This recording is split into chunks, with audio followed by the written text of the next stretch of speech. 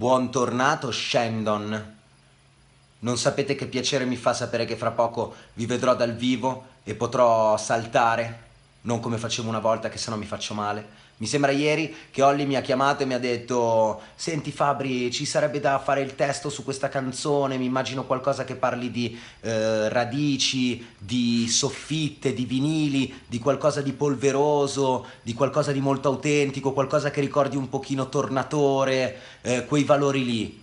E quando poi a un certo punto è nata Vuoto, mi sono emozionato tantissimo, quindi adesso non mi resta che venirla a vedere dal vivo e esaltarmi ancora di più. Buon tornato, eh!